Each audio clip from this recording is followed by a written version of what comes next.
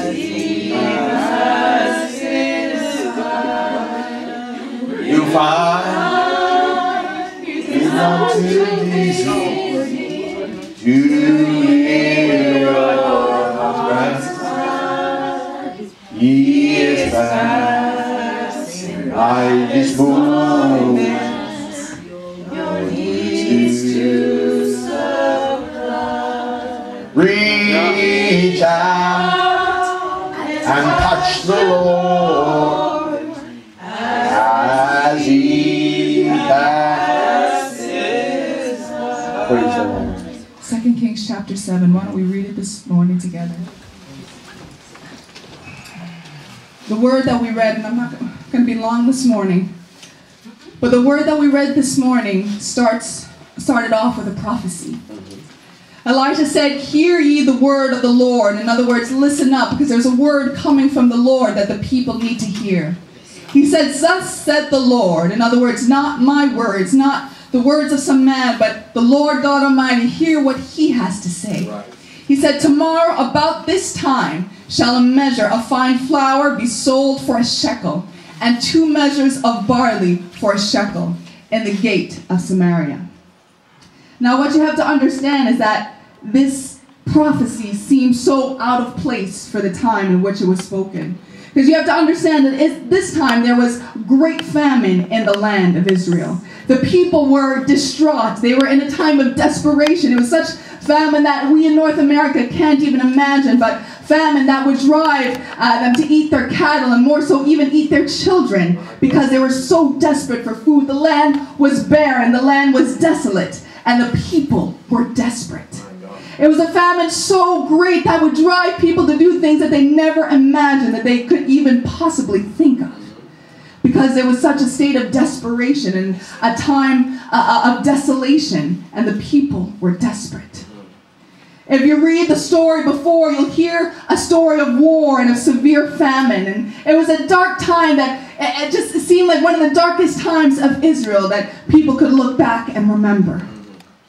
Sometimes we can sympathize, for in our own lives we seem to have some dark times when we feel that we're in a situation where things just can't get any worse. Sometimes we feel like we're in a situation in our own lives where we've reached rock bottom and, and there's no other place to go. We've reached the absolute worst place that we can possibly imagine. Our worst uh, fears have come to pass and we're living in a nightmare, so it speaks. Right. That's the experience that Israel was living at this time. That's what they were going through at this time. And in this place, we see this Lord who leaned on the king's staff, the Bible said. And, and it was a Lord who, who was close to the king. And he heard this prophecy and he doubted the prophecy that came forth because you see, this Lord was looking at things through the natural. He was looking right. with his natural eyes and seeing the situation. There was to him there was no correlation between what he had heard and the prophecy and what he could see in his natural eyes. Where from where he was coming from, there was there was no possible way that tomorrow what the prophet said could come to pass. Maybe a couple years down the road, maybe in a little while, maybe with you know some help from other people, but the prophet had said tomorrow tomorrow, as in 24 hours from now, and just a little while from now, Wow. there would be great rejoicing in the land.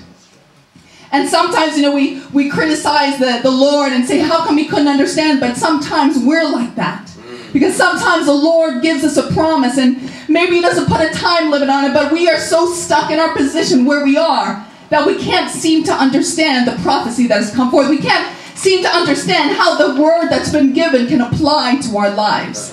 We can't seem to correlate how this word that we've heard from the Lord can really be for us. And sometimes we question that maybe, you know, it's for a time down the road. Maybe it's for even somebody else. Right. But the Lord has given us a word. The Lord has given us a prophecy. He's given us a word and a command. And this morning He told us to sail on. Yes, right. And sometimes it Yay! seems so difficult to get out of a situation where you are. You see, how can I possibly sail on? How can I move? Because there's a barrier in front of me. There's something that's impeding my progress.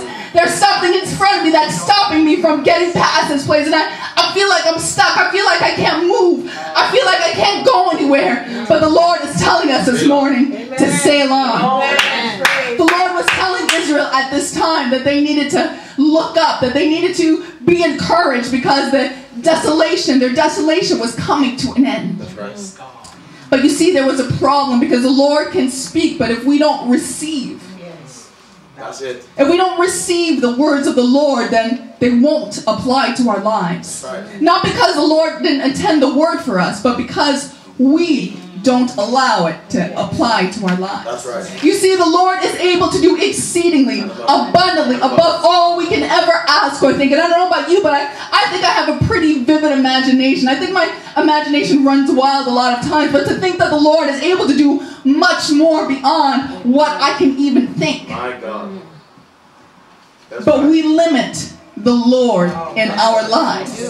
The only thing that is stopping us from drawing closer to the Lord, from getting out of this place where we are, a place of stagnancy, a place of desolation, a place of desperation, is us. Right. For the Lord has already declared that our, our desolation is coming to an end. He's already declared that all we need to do is praise Him for the victory. And as we praise it, He will send our deliverance. That's right. But until we receive the word, until we put our faith into action, then that word is null and void in our lives. Right.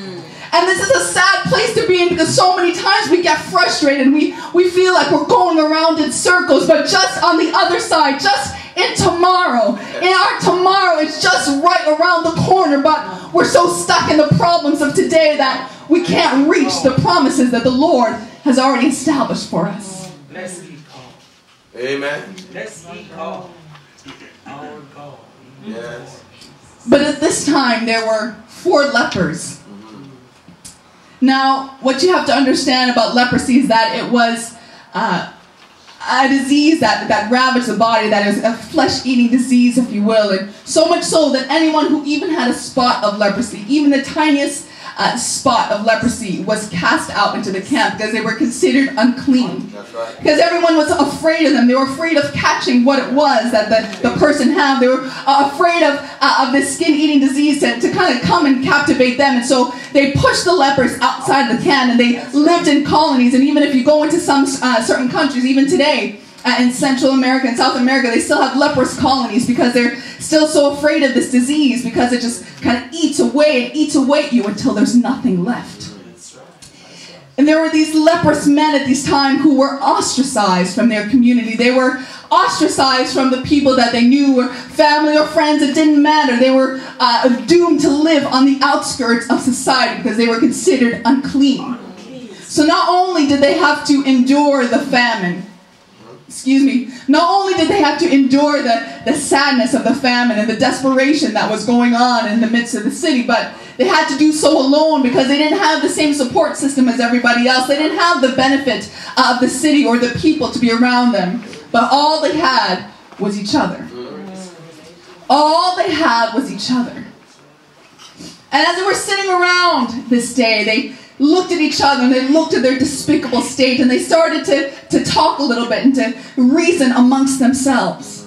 They started to look at their state and look at their situation and realize that you know they were they were deemed and clean and to them or according to society they had nothing good to offer. Right. They started to look at the fact that they were ostracized and, and cast aside and not cared about. No one was coming to check in on them or see how they were doing, see if they were okay, see if they needed anything. They started to look at their situation and the desperation of their situation.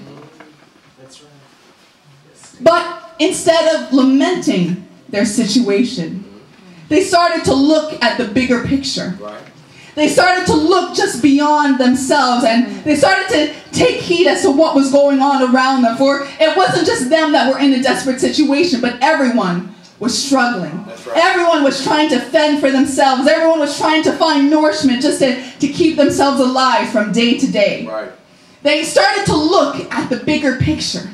They started to examine the situation for what it was and realize that there wasn't much that they can do.